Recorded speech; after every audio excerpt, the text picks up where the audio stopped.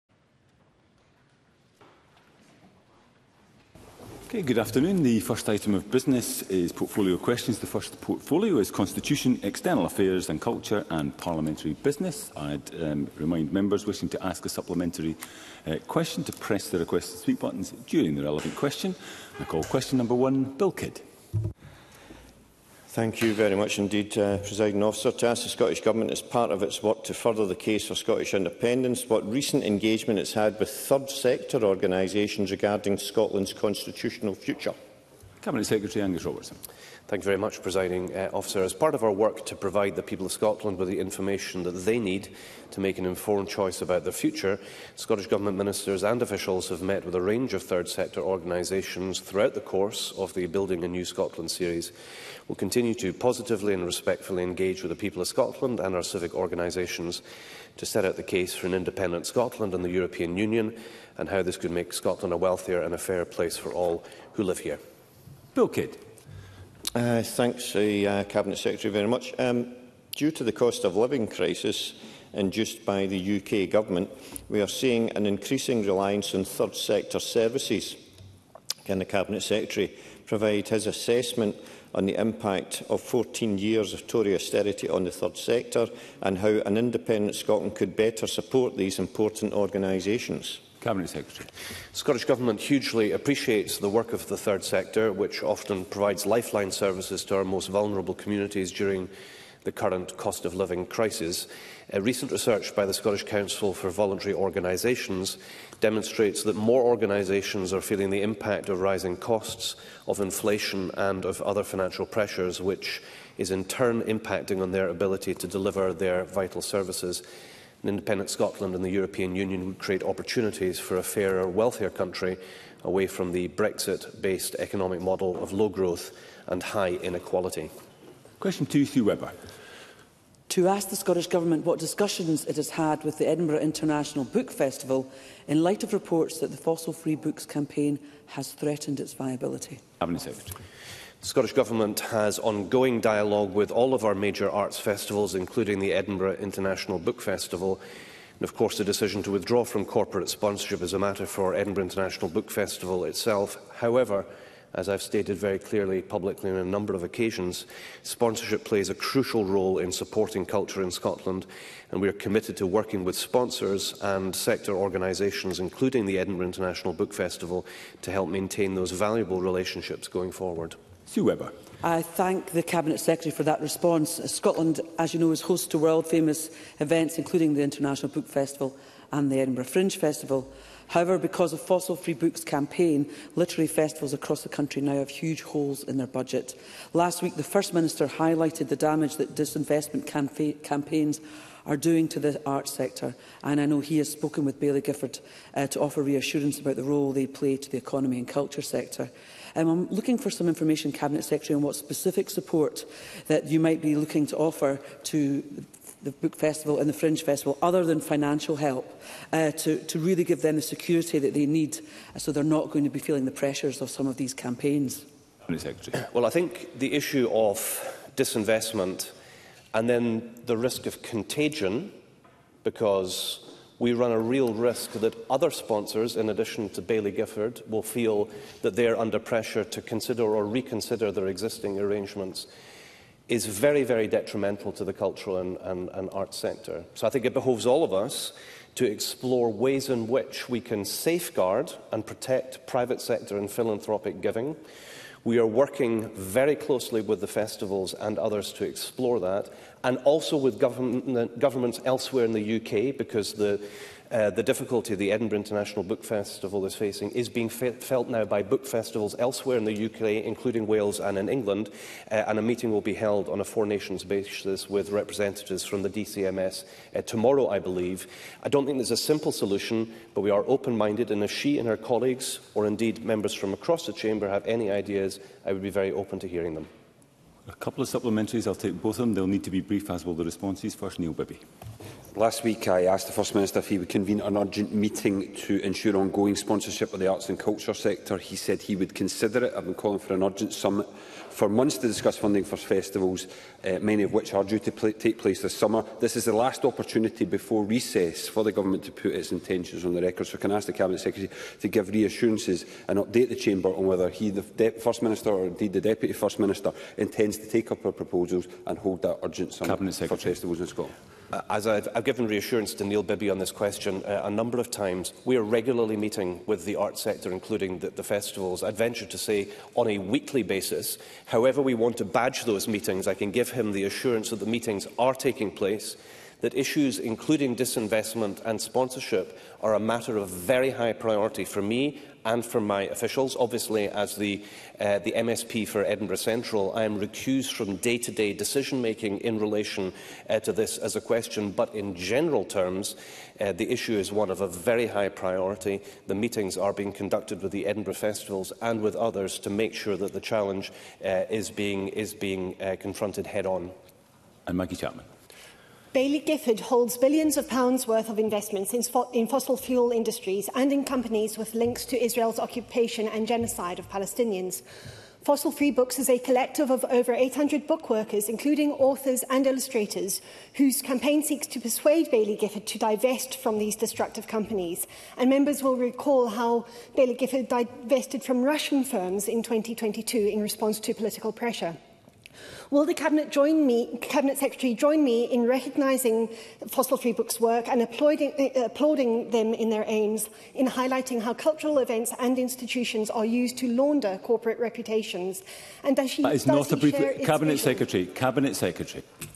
So, um, like the member, I obviously have concerns around climate change, and I have very um, severe concerns about what has been happening uh, both to Israeli hostages and also to the, the, the people of uh, Gaza. But I do not think that uh, disinvestment from uh, cultural events like the Edinburgh International Book Festival further those aims. I think there are ways in which ensuring ethical support, ethical philanthropy, ethical giving is something that should be uh, the aim of everybody involved. I know that Bailey Gifford is uh, committed to this. I know the festivals are committed to it, and we need to find a way of giving assurance to those who are concerned about issues like climate change and the situation in Gaza, uh, but to do that in a way which does not fundamentally undermine our culture and our arts sector.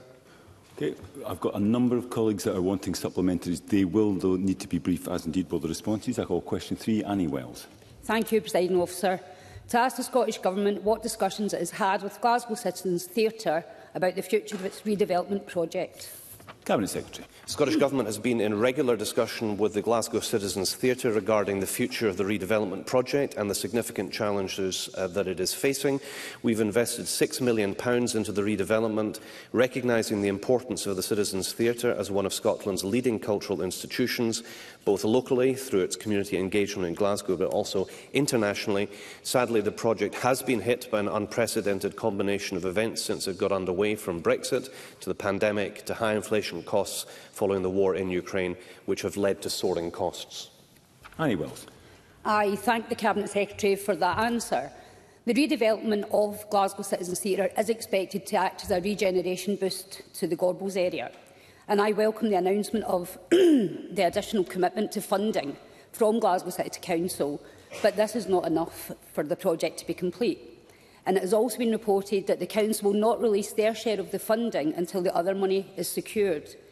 So, and if this project does collapse, Cabinet Secretary, the benefits of it will be lost to the local community. So, could I ask the Cabinet Secretary what discussions has the Scottish Government had with Glasgow City Council over its continued support of the project? Cabinet Secretary thank uh, Annie Wells uh, for her question, and it's very timely. There was a meeting only yesterday involving funders involved uh, with the project, and I can give her the assurance uh, that around that table, people are extremely committed to Glasgow Citizens Theatre, but on the other hand, I think having an understanding of the scale of the financial challenge uh, is one that we all need to be uh, aware of. The Scottish Government has sought clarification on the shortfall uh, that exists. I know that there has been an issue about accessing levelling up uh, funding during an, uh, an election uh, period. So the, everybody, I think, is very invested in, in trying to find a solution, but I, I would wish to put on the record a recognition of the seriousness of the, uh, the, of the, the challenge to the Citizens Theatre and that there is a significant financial gap that remains. Supplementary, Claire Hawkey. Uh, thank you, President Officer. I understand that rising construction material costs have delayed the redevelopment of the Citizens Theatre significantly. Can the Cabinet Secretary provide his assessment on the impact of the cost of living crisis on our culture and arts sector, particularly infrastructure and maintenance of art spaces, including the Citizens Theatre redevelopment project? Cabinet Secretary. so the cost of living crisis has had a significant impact on the culture sector, specifically on infrastructure and on maintenance, where we've seen increased costs compounded by uh, disrupted supply chains. We're having to work within the most challenging budget to be delivered under devolution, and this is particularly acute in our capital budget, with a block grant for capital now expected to reduce by 8.7% in real terms uh, between 23-24 and 27-28. That's a cumulative loss of over £1.3 billion pounds, uh, based on the latest forecast after the spring statement. So the scale of the challenge should be obvious to everybody. That doesn't mean that we will not try uh, and be supportive where we can, but I think understanding the level of the constraints is something that needs to be better understood. Briefly, Paul Sweeney. The risk to the Citizens Theatre Company is real. Uh, its project viability is under imminent threat of liquidation. Therefore, in that basis, would the Scottish Government be actively participating in the steering group that's been uh, consisting of Glasgow City Council, representatives from the Citizens Theatre and the contractor Kier? Because there's a major discrepancy in what uh, the Citizens Theatre's cost consultants are estimating the cost of the project to be and the prime contractor. And as the Scottish Government... Cabinet Secretary, Cabinet Secretary. Well, I thank Paul Sweeney um, for his question and I, I acknowledge um, his sincere interest in this as a, as a concern for, for, for members across uh, Glasgow. Scottish Government was part of discussions yesterday held in relation to uh, funding um, of the Glasgow Citizens uh, Theatre. Uh, if there are other fora in which we can participate uh, and um, be able to secure um, a solution to the uh, funding uh, challenges, I'm, I'm open to that and I'm happy to discuss that further with Paul Sweeney. Question 4, Sarah Boyer. To ask the Scottish Government when it last met with Creative Scotland. Cabinet Secretary. As part of normal management relations with directly funded public bodies, Scottish Government officials regularly meet with Creative Scotland, with the last meeting having taken place on the 18th of June. Uh, I last met with Creative Scotland on the 22nd of May this year, and my next meeting is scheduled for next Monday. Sarah Boyack. For that meeting, Is the Cabinet Secretary going to be able to promise any of the additional £100 million promised by the First Minister to add to Creative Scotland's budget, given the arts industry's fears that the funding environment is extremely precarious, which could lead to devastating decisions for arts groups unless there is enough money when Creative Scotland make their funding decisions this October? Cabinet Secretary. Well, I think Sarah Boyack is, is aware of the normal funding procedures that take place uh, in this place and by the Scottish Government. The Scottish Government already committed to an uplift of £15.8 million pounds, uh, in this financial year and a commitment to £25 million pounds additionally in the next year. Discussions about additional financial support uh, are ongoing uh, and they will continue with Creative Scotland and they will continue with the rest of the uh, sector. I'd be delighted to have the support of the other political parties in seeing the uplift in culture funding uh, of £100 million. That stands in contrast to the decline in England under the UK Conservative Party and the cut to culture and arts in Wales by the Labour Party. Brief supplementary, Jeremy Balfour. Could the Cabinet Secretary raise next Monday at his meeting with Creative Scotland the issue of disability funding for projects There is still a concern within the disability community that the appropriate uh, methodology is not being used, and we do report back to the Parliament on what conversations he has with them?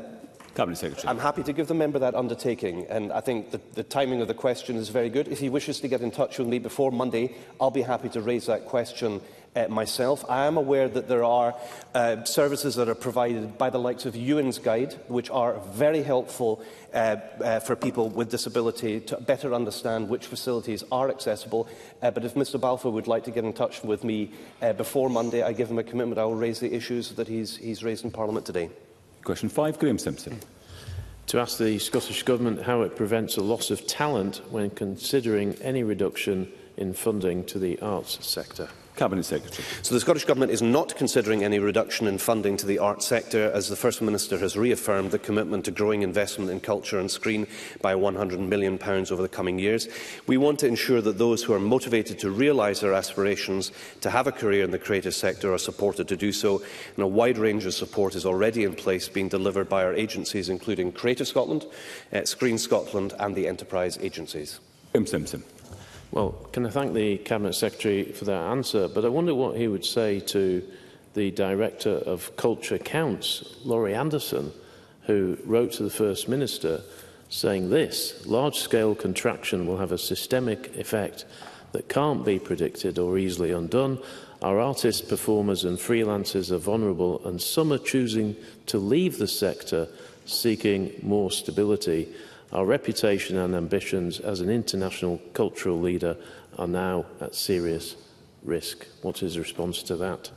Cabinet Secretary. Uh, well, I have regular uh, discussions with culture uh, counts uh, and with other cultural uh, organisations about the plans to increase funding for culture uh, in Scotland.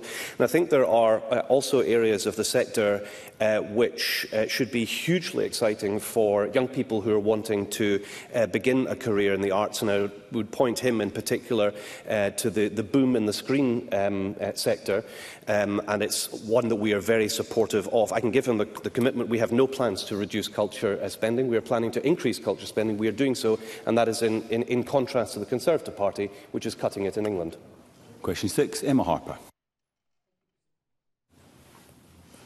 Thank you, President Officer. To ask the Scottish Government how citizens' assemblies can ensure, help ensure the views of people in rural communities are taken into account in decision-making on matters of importance to rural Scotland. Minister Jamie Hepburn.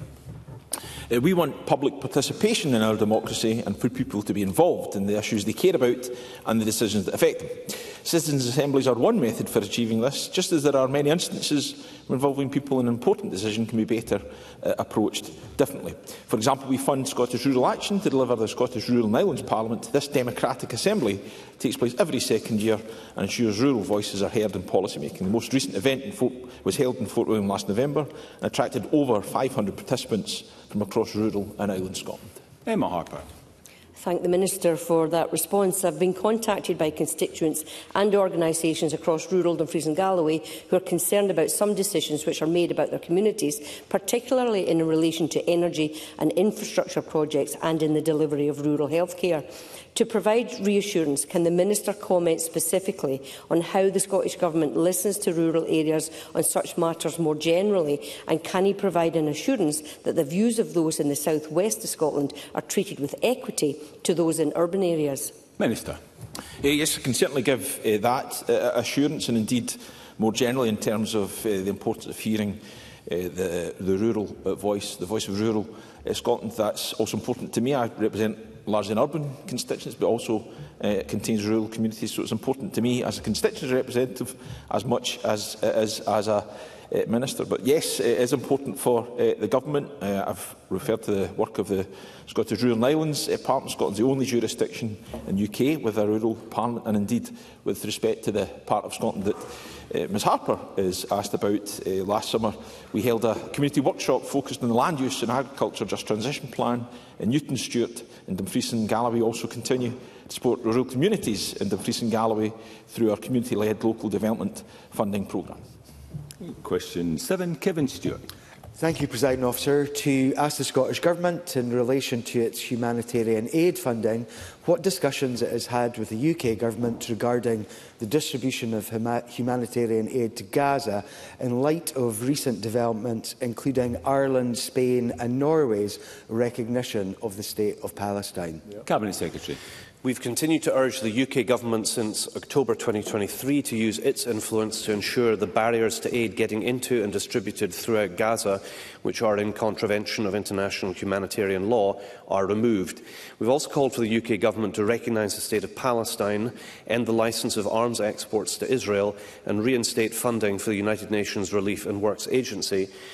It's now critical for all parties to step up their efforts to agree to the ceasefire deal, the deal that has been tabled by the United States so that the unimaginable suffering caused by this conflict can finally end.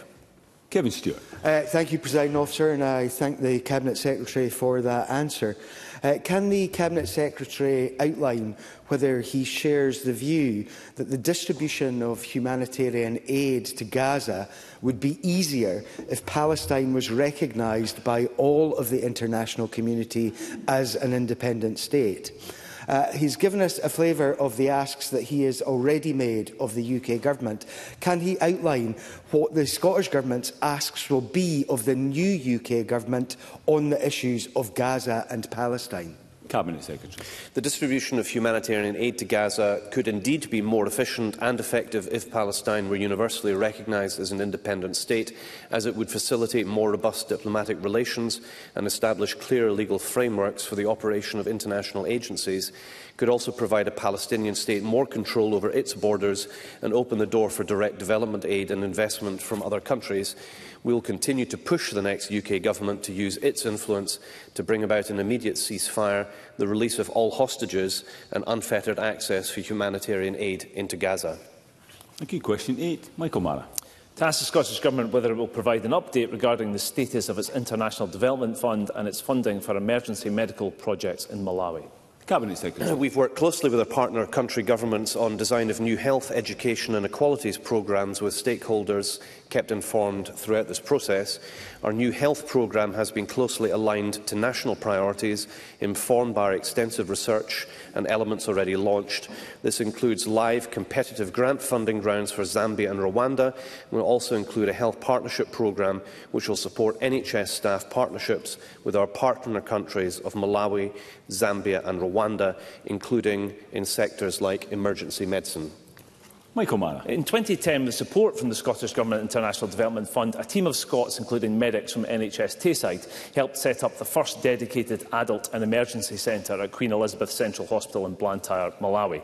The work of the Scottish Emergency Medicine Malawi project is described to me as the exemplar of emergency care in Malawi. It was delivered under budget and was a great success. It was agreed the Scottish Government funding be paused at the start of the pandemic. Yesterday, I believe as a result of this question, project leaders were fighting finally told that that funding will not be reinstated. That funding backed a promise to some of the poorest, most vulnerable people in the world. It was a moral commitment. The loss will be measured out in lives. No reasons have been given. It is, in the words of these dedicated doctors, an utter travesty. For what reasons did the Cabinet Secretary approve this cancellation? Cabinet Secretary.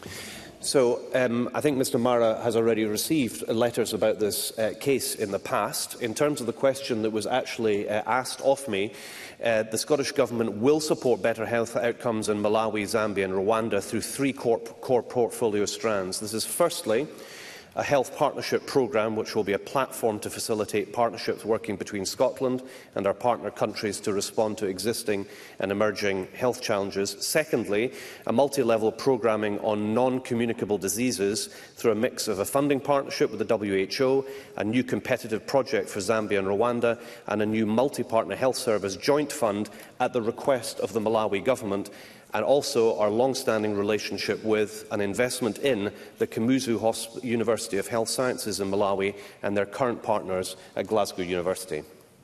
A couple of brief supplementaries. First, Claire Adamson. Thank you, Presiding Officer. The stronger relationship between Malawi and Scotland is more important than ever. Can the Minister provide an assessment of how Malawi will benefit from the Scottish Government's recent investment in the World Bank's FLC Inclusive Education Policy Academy? Administrative Secretary. Uh, so disabled children are estimated to be around 15% of children in Malawi and by recent estimates half are out of school. These children need support and that's why the Scottish Government is committed to supporting inclusive education across our partner countries. As part of our support this year, we launched the World Bank Foundation Learning Compact Inclusive Education Policy Academy and this project is supporting Malawi's Ministry of Education, Ministry of Gender as well as representatives from organisations of persons with disabilities in making better policy to provide access to education for those who need it most. Thank you. And briefly, Alexander Stewart.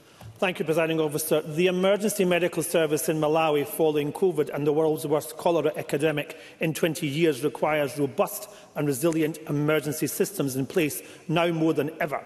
So, Cabinet Secretary, what action can we put in place to ensure that the funding which was awarded in the past can be replicated? Cabinet Secretary. Uh, well, as I outlined to Mr Amara, there are three um, core portfolio strands that relate to the question uh, that has been uh, put. I'm happy to write with more details about all of them, and there will be further uh, funding announcements that will be made in the course of this year in relation to the issues that he raises. Thank you. That concludes portfolio questions on constitutional affairs. There will be a brief pause before we move to the next uh, portfolio to allow benches to change.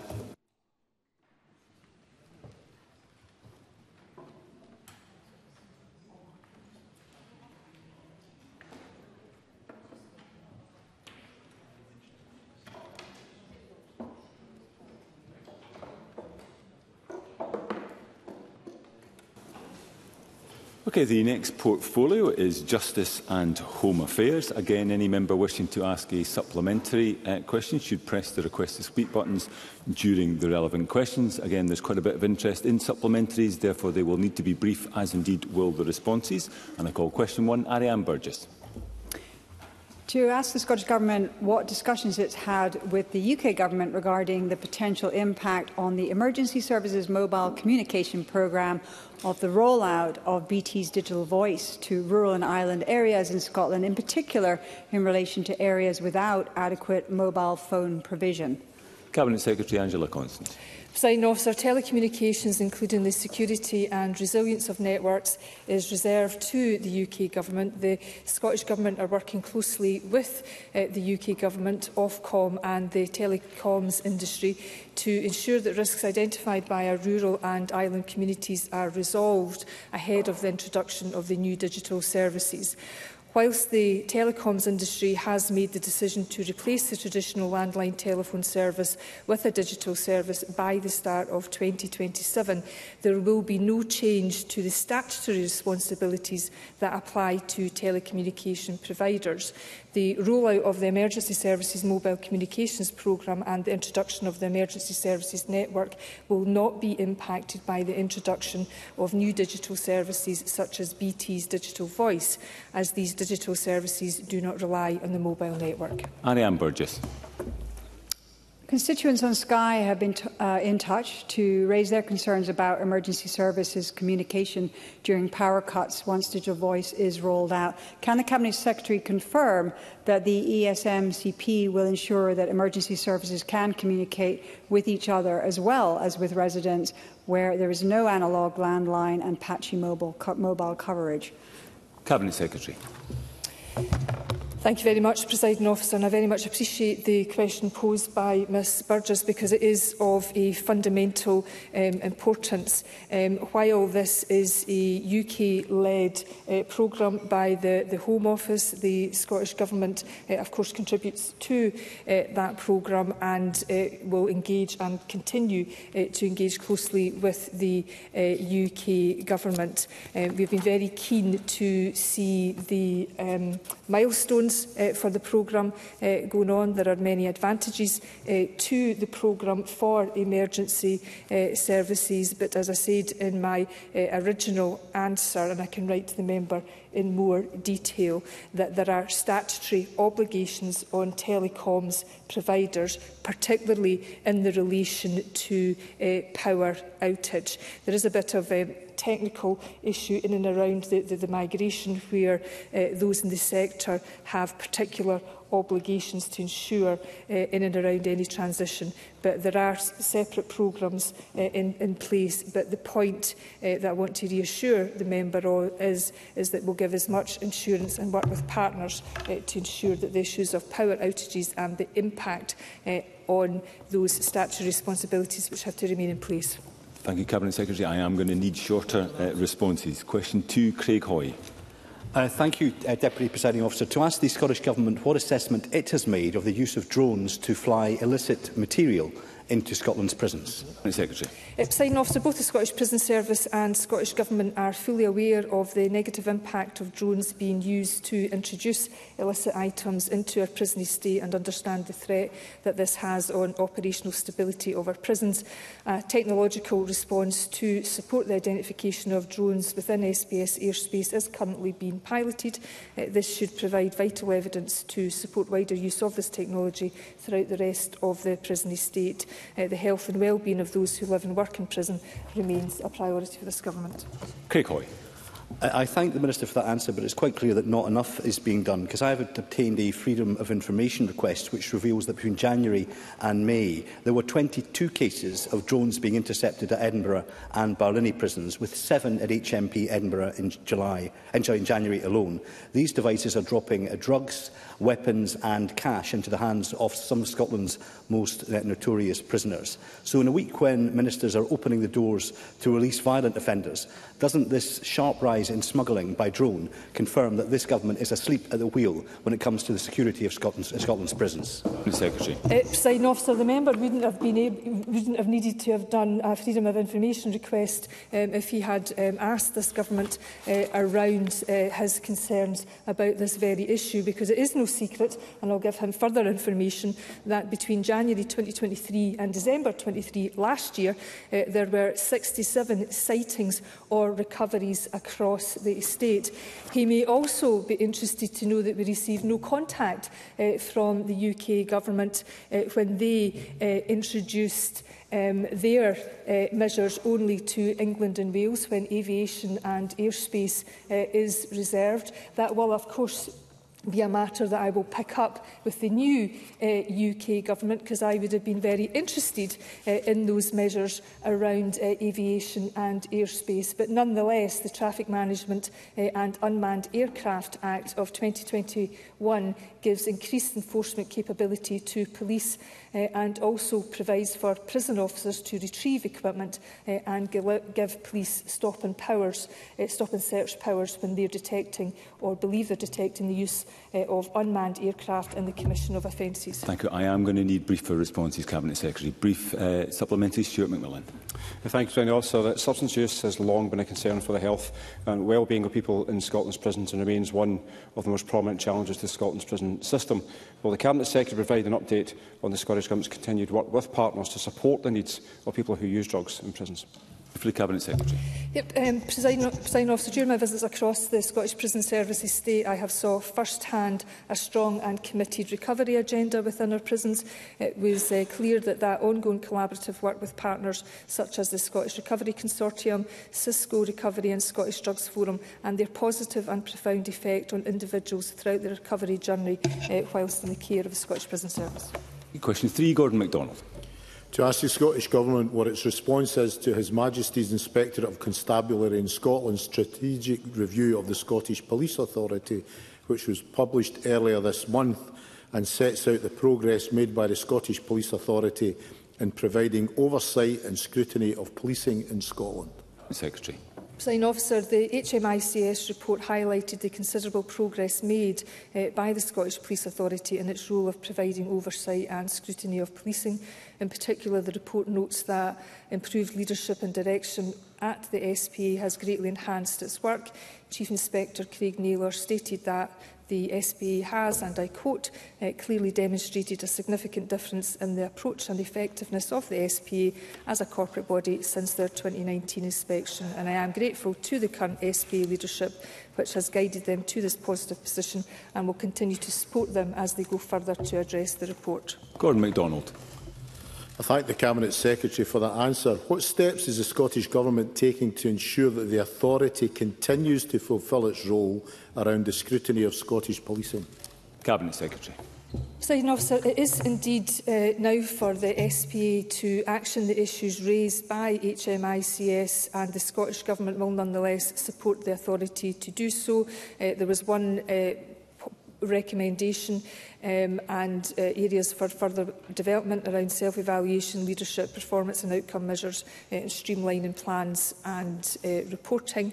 Uh, the Scottish Government will continue to uh, support the authority, particularly as it carries out its vital role in holding the Chief Constable to account. And I, of course, uh, meet regularly uh, with the SPA and the Chief Executive of SPA. The supplementary, Thank you. Uh, contrary to the SNP spin we've just heard, the HMICS report is not all positive positive. It uh, reveals that Police Scotland is currently reporting 17 strategic risks, 11 of which are the most serious red status.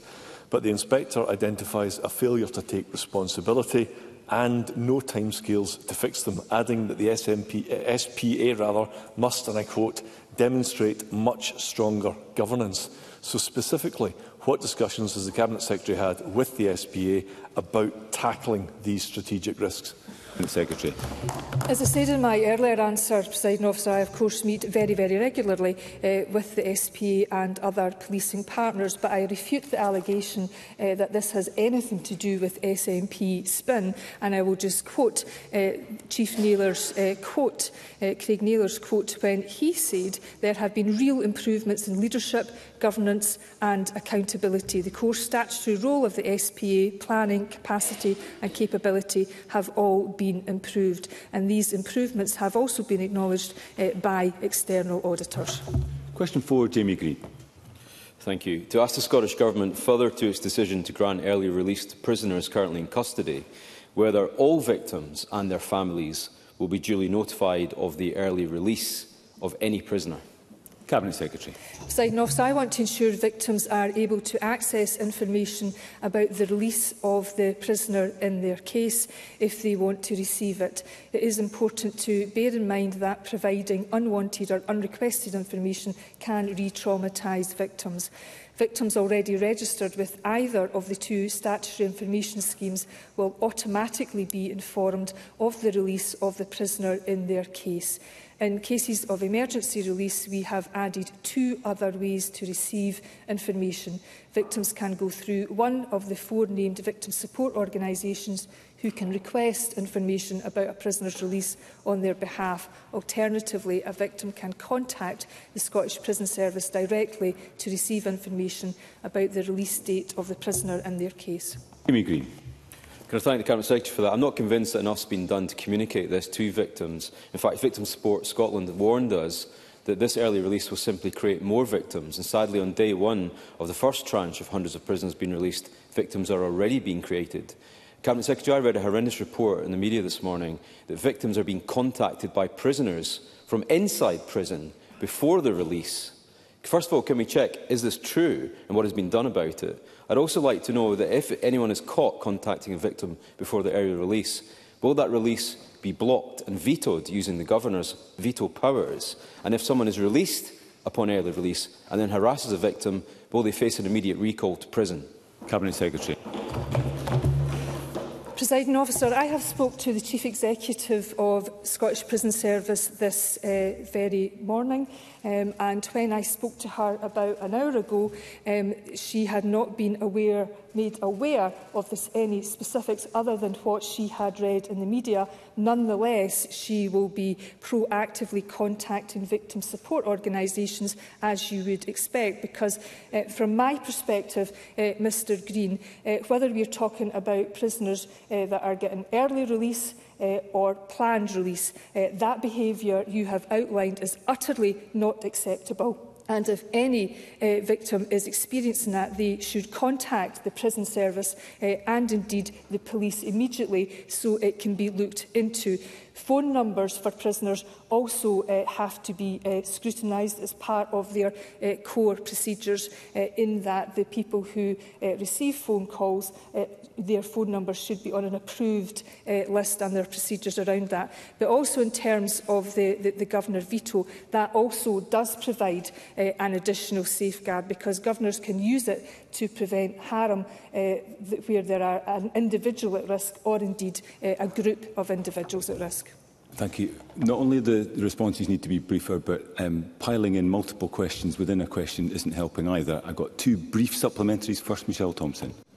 Thank you, Presiding Officer. Now, the Cabinet Secretary has already mentioned that there are additional ways for victims to find out if someone has been released through emergency release over and above the existing victim notification scheme. I wonder if, briefly, for the record, she could outline, what these are briefly, Cabinet Secretary. Uh, I will do so briefly and following the, the representations uh, made to me by victim support organisations. That's why amendments were made to the, the Bail and Release Act so that uh, there are uh, victim organisations that can be named in the regulations in and around uh, emergency release so victims can get the support of victim support uh, or organisations who can receive information on their behalf if they so wish. And the other scheme is that people can contact contact uh, the Scottish Prison Service directly. And Katie Clark. Cisco have described the current releases as shambolic, with prisoner release services overwhelmed. The Cabinet Secretary said last month there would be improvements to victim notification. I think she may have outlined what they are, but we know that most victims will not be notified that an offender will be released earlier than expected.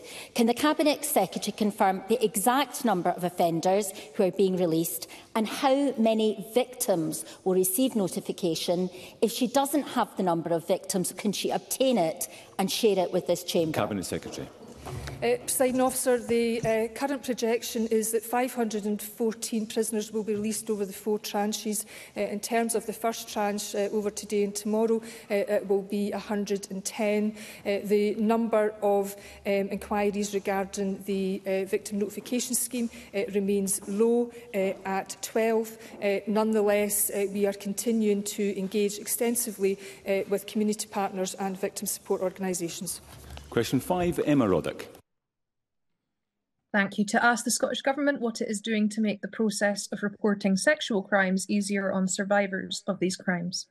Cabinet Secretary. Presiding officer, we all want complainers to have the confidence to report sexual crimes and are committed to improving the justice system to better respond to victims' needs.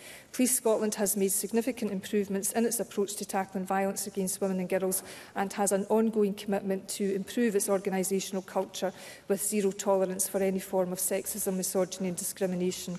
In addition, the Victims, Witness and Justice Reform Bill aims to improve complainers' experiences with a particular focus on ensuring complainers in sexual offences cases have confidence in the justice system. We also recognise the important role that frontline services play in helping survivors come forward through the Equally Safe Fund. We have invested £19 million to support 123 organisations. I thank the Cabinet Secretary for that answer. Could she speak to the engagement that's been going on with justice partners to understand and respond to the potential impact of the Lord Advocate's recent references regarding a victim's distress or statement made shortly after an alleged crime being used as corroboration and more generally to how corroboration presenting an unfairly high bar for sexual crimes is being looked at? Cabinet Secretary. Sign officer, take very seriously the concerns some stakeholders have with how the corroboration rule can affect access to justice for survivors of crimes uh, committed in private. I was interested to see the Court of Appeal's judgment in October 2023 and I note that the Lord Advocate commented that this decision will improve access to justice for victims and has the potential to transform the way the Crown Office prosecutes all offences, in particular sexual offences. The Lord Advocate's further references are currently being considered by the Court of Appeal and it would not be appropriate, I'm afraid, for me to provide a view on issues that are live before our independent courts. Uh, these are recent and ongoing developments, so it's not yet possible to model their potential impact. Brief supplementary, Sharon Dowie. Thank you, Presiding Officer. During stage one of the victims' bill, one survivor told us that the Crown Office treated them like a witness in their own case. Another told us that their case was just short of four years long, while others spoke of the difficulties they face trying to get information about their own case. Can the Cabinet Secretary set out what she will do to reduce trial delays and improve the standard of communication to ensure that victims are not discouraged from reporting sexual crimes? New Secretary. Presiding officer, it's uh, imperative that uh, victims and witnesses are first and foremost treated as people and not as uh, pieces of evidence. Uh, in terms of that end-to-end -end journey time, uh, that is something that is now being monitored uh, more closely with the publication of data for full transparency. There is the investment in the court recovery uh, programme, which is indeed uh, paying off dividends. Uh, and in due course, uh, we will respond to the independent uh, review on the victim notification scheme and a core of that is about how and when we communicate with victims and there's also an important strand of piece of work in that regard uh, undertaken by the, the Victims Task Force which I and the Lord Advocate chair. Thank you. Question six, Patrick Harvey to ask the Scottish Government, as part of the delivery of its hate crime strategy, what action it is taking to tackle online extreme right-wing radicalisation. Minister Siobhan Brown. Thank you, Presiding Officer. Our hate crime strategy delivery plan, which has been informed by people with lived experience of hate crime, is focused on building communities that are cohesive and are alert to extreme right-wing divisive narratives, both online and offline, supporting its victims and improving the data to understand hate crime. The ways that people can be radicalised are continuously evolving and we recognise that there is no single pathway or single set of factors. That is why we must remain alert and flexible to ensure our wider efforts across multiple policy areas build inclusive communities that are resistant to rad radicalisation and equipped to challenge extreme extremist narratives. Patrick Harvey. The far right is a growing threat across many European countries. They're in government in countries uh, such as Italy and the Netherlands. They're on the rise in France and Germany. And in the UK, some Conservatives are now openly debating a merger with the far right after the current election. Does the Scottish Government share the concern about the threat that is posed not only by extremist far-right rhetoric, but the homophobia, transphobia, misogyny, racism and anti-migrant rhetoric that comes with it, uh, and that that is now a core part of the business model of a number of social media platforms. What is the government's view on the role of regulation of those social media platforms? Minister.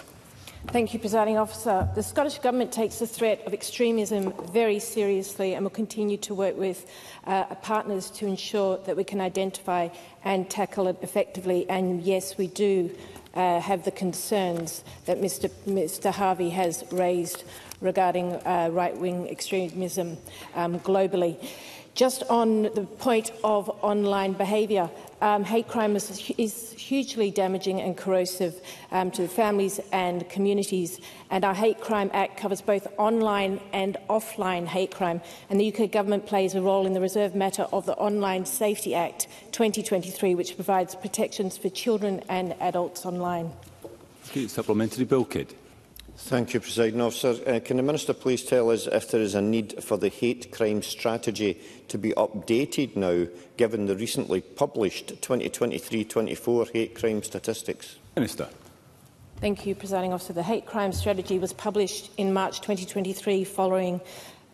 but followed by the delivery plan in November, which sets out our immediate actions over the next two years to implement the strategy. Recent statistics are a reminder to redouble our efforts to tackle hate and confront prejudice wherever it occurs. Our strategy remains relevant and one of our key aims seeks to improve the availability of data in order to more fully understand the nature, characteristics and the extent of hate crime in Scotland and to use this to inform future policy development.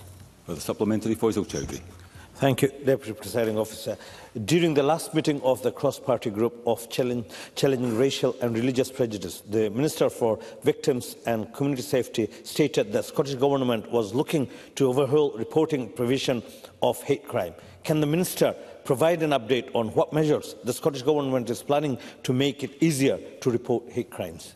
Minister. Thank you, Presiding Officer.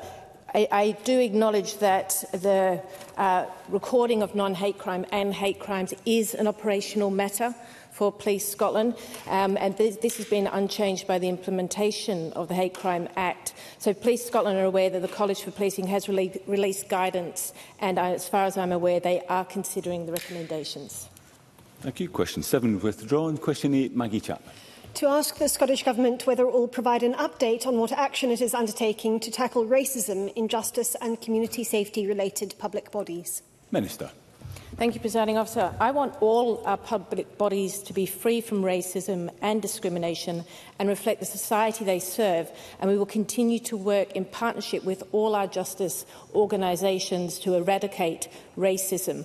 For example, Police Scotland and the Scottish Police Authority are committed to ensuring that our police service is diverse with a workforce reflective of the communities that it serves. Through its Policing Together strategy, there are initiatives underway to improve the diversity of Police Scotland. The Scottish Government supports the commitments contained within the Race Equality Framework and the immediate priorities plans. And through our cross-justice group on race data and evidence, the Government continues to improve on our understanding of the experiences of minority ethnic people within the justice system. Maggie Chapman. The public inquiry into Sheku Bayo's death in police custody heard that officers could reasonably have assumed Bayo was a terrorist solely because of the colour of his skin. Neither the Police Independent Review Commissioner nor the Crown Office considered the role racial prejudice might have played in his death, despite human rights law requirements to do so. What assurances can the Minister provide that our justice system is addressing institutional racism? And will she commit to providing regular updates on actions and the cultural changes needed for compliance with human rights laws and the provision of anti-racist services? Minister. Thank you. Firstly, can I just say my thoughts are with the family and friends of Mr Bayo. As the member has highlighted, the inquiry is examining the immediate circumstances leading to Mr Bayo's death and the police handling of the case and the investigation into the death and whether race has a factor. And the inquiry can also make recommendations to prevent deaths in similar circumstances. Counsel for the inquiry has confirmed that the question of whether Mr Bayo's race played a part will be examined at every stage. As it is a public inquiry and it is independent of ministers, at this stage it would not be appropriate for the government to comment on the inquiry proceedings now that they have commenced. Thank you, Minister. That concludes portfolio questions on justice. There will be a brief pause before we move to the final portfolio. Tell front benches to change.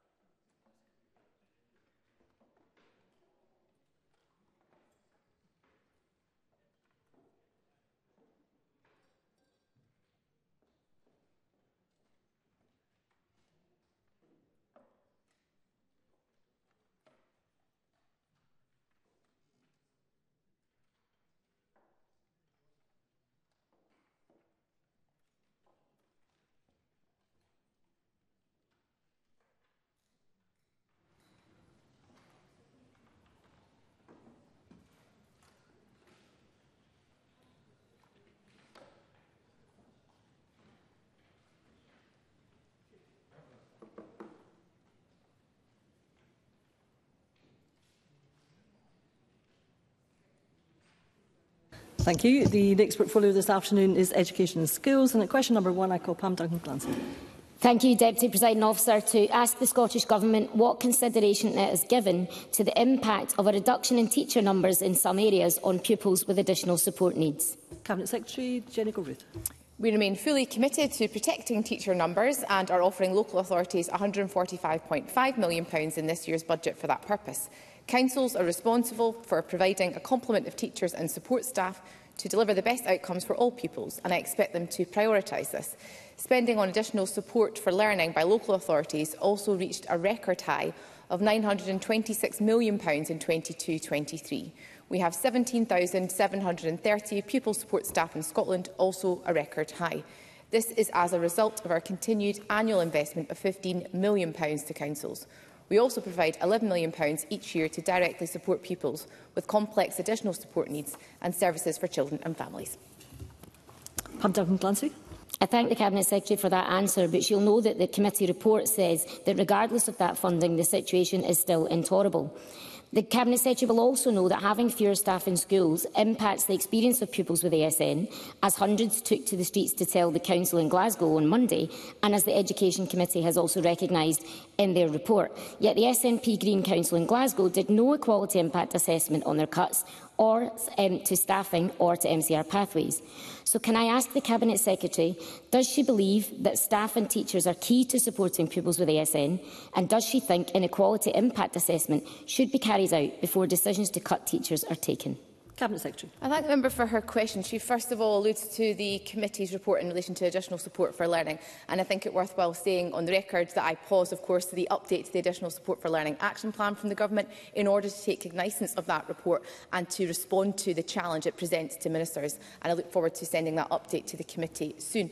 She makes specific reference to some of the challenge in Glasgow recently, and of course, as I alluded to in my initial response, presiding officer, we are making available to local authorities an extra £145.5 million to maintain teacher numbers.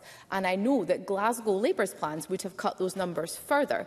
The budget proposals put forward by the Labour group on Glasgow City Council included £30 million in education cuts and could have meant the loss of up to 650 teachers. So Glasgow have been offered funding of £16.5 million in 24-25 to maintain teacher numbers, which is, of course, their share of the £145.5 million.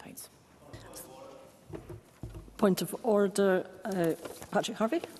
Uh, thank you, Presiding Officer. The, the member who asked the last question is very well aware that the SNP are the administration in Glasgow City Council. Is it in order for her to misrepresent that fact?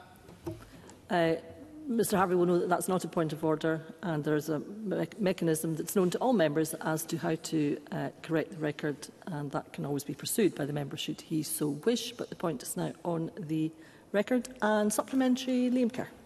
Very grateful, Presiding Officer. The Education Committee's report suggests the reduction in teacher numbers has an impact on the behaviour of pupils, whether or not they have additional support needs.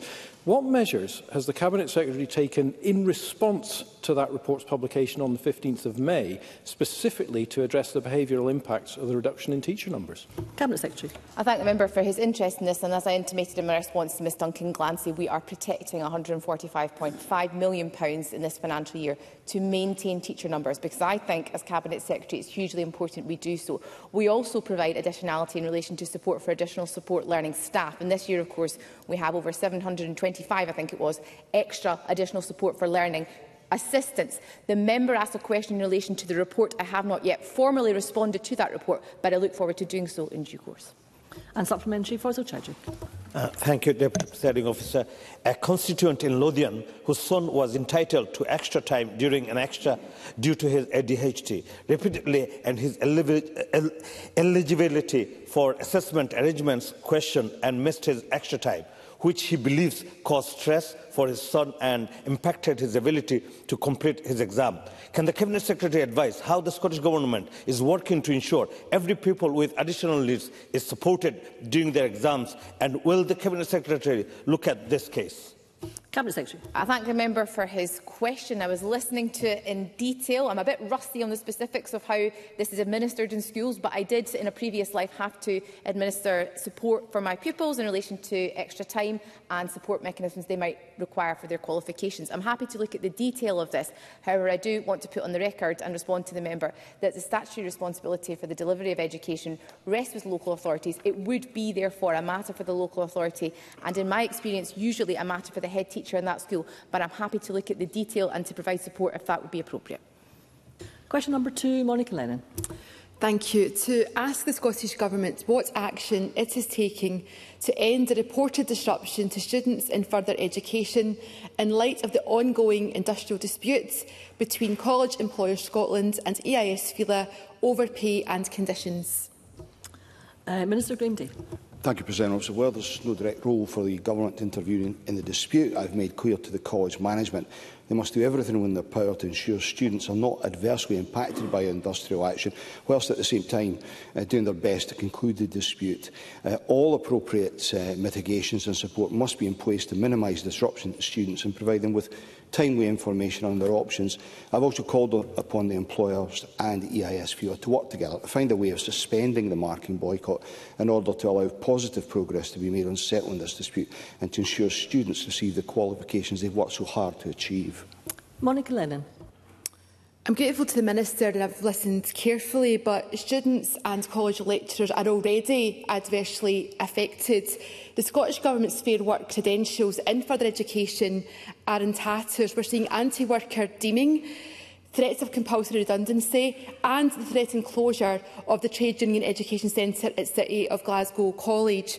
So the message from picket lines across Scotland, but including uh, South Lancashire College in my area and New College Lanarkshire is when will this minister intervene and uh, make sure we see a funding package that will deliver a decent pay settlement for college lecturers, consistent with the public sector pay policy, whilst protecting jobs and ensuring continuity of course provision for our students. Minister.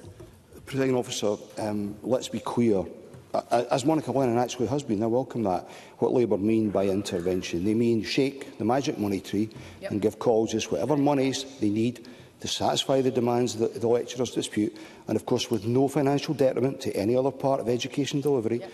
But of course a pay rise isn't the totality of what's being sought in the context of the dispute and negotiations. It's not just about a pay uplift for 25-26, for which the budget available to the Scottish Government and indeed the colleges is a complete unknown at this stage.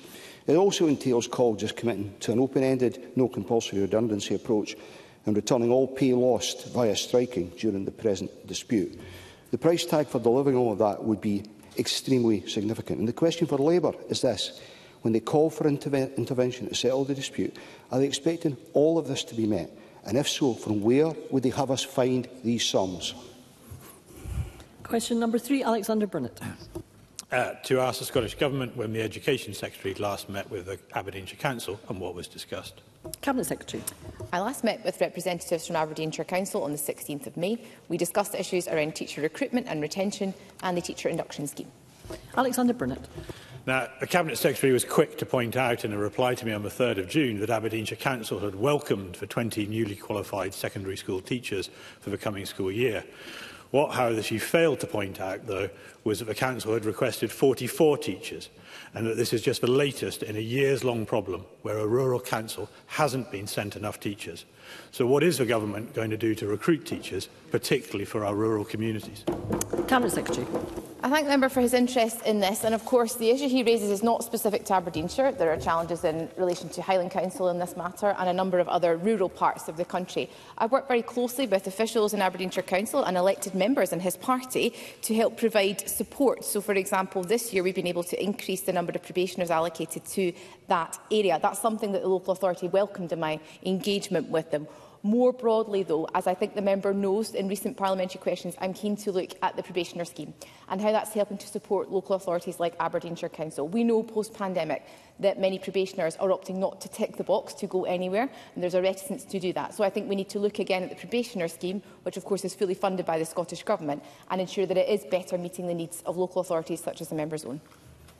Question number four, Lee MacArthur. Thank you, President Officer. To ask the Scottish Government what assessment is made of the delivery of 1140 hours of funded childcare in Orkney in light of the specific challenges faced by island authorities in meeting this requirement. Minister Natalie Dunn. The Scottish Government recognises how vital early learning and childcare is in rural and island areas, both in relation to giving children the best start in life and supporting families to work. Now, responsibility for delivering 1140 hours um, of funded ELC that are available to all eligible children in Scotland does sit with local authorities who have a statutory duty to ensure that local provision meets families' needs. We invest almost a billion pound a year to fully fund this offer and the cost of provision in rural areas are taken into account in the funding formula. We, the Scottish Government has a robust strategy in place for evaluating the national ELC expansion, which will look at accessibility, particularly in rural and deprived communities, and we expect to provide an interim update on this next, this year, with the full report due to be published next year. Liam MacArthur. Uh, can I thank the Minister for that response? Over recent months, many constituents have contacted me in desperation about the lack of childcare available in Orkney. Anyone not working fixed or 9 to 5 hours face, e, uh, face acute problems, but even for those who do, accessing childcare is proving increasingly difficult. Childminders are few and far between, wraparound care for school-aged children is largely non-existent, and many nurseries don't offer extended hours or support outside of term time. As an island community with a relatively small population, Orkney does face unique challenges delivering the government's commitment to funded childcare. So will the Minister agree to work with Orkney Islands Council to provide any additional support required to ensure my constituents have access to the affordable and flexible childcare they need and have been promised? Right, Minister. Thank you. Um, I absolutely recognise the particular and the distinct challenges, barriers and opportunities for rural and island communities and I will continue to listen and look for um, uh, solutions to the challenges they face. Now, our Addressing Depopulation Action Plan, which was published in February, sets out the Scottish Government's approach aimed at supporting local communities and the plan acknowledges the important role of early learning and childcare as an important driver of, popula of population attraction and retention. It also sets sets out a range of work being taken forward to enhance our childcare offering in the context of rural communities, which includes the early adopter communities. I appreciate that's not relevant in this circumstance. Childminder recruitment and our commitment to phase in an expanded national offer for families with two-year-olds. So, but um, over and above that, I'm more than happy to meet with the member if he would like to discuss the specific challenges further. I, uh, question five has not been lodged. Question six, David Torrance. Thank you, thank you, President Officer. To ask the Scottish Government what action it can take regarding the ongoing Fife College staff pay dispute. Minister Day. President Officer, I appreciate the ongoing industrial action at Fife College will be of particular importance uh, to the member and his constituents. Uh, continued industrial action is in no one's interest, and I continue to actively urge the employers and field e to work collaboratively to find a resolution to this dispute as a matter of priority. Formal talks last Friday saw movement on the part of the union. Uh, I understand formal, uh, further informal discussions have continued since. David Torrance. I believe there is a genuine desire on all sides to end the present dispute. I understand that lecturers at Fife College have been warned that their wages may be docked in response to ongoing industrial action. Does the Minister agree that this is not in the spirit of a National Joint Negotiation Committee and will he urge the college management to reconsider such actions? Minister. And officer, I'm assuming that the docking that Mr Torrance refers to is in fact what's known as deeming and relates to a particular aspect of the industrial action, namely the refusal of some lecturers to upload the marks of students, thereby impeding their progression. Uh, as this concerns the fulfilling of contractual requirements, it's a local rather than national matter. There's evidence with the fact one college is not resorting to deeming and some others are taking quite localised uh, approaches. But as I've said before, the work of students going unmarked and the response of colleges to this is something which, as well as being detrimental to the interests of learners, represents an unhelpful escalation in the dispute. Employers and trade unions must work together to find a way of suspending this element of action short of strike and the removal of the threat of deeming in order not only to take students out of the firing line, but also to create a better atmosphere in which to try and resolve the wider dispute. Uh, as an aside, I met recently with college chairs, the college chairs groups and emphasised the importance of their role in seeking to improve employee relations in their colleges the decision to dock pay is a significant one. As significant as the decision to pursue a marking boycott. And I would expect all relevant college boards to have been involved in the approval of this, particularly around proportionality.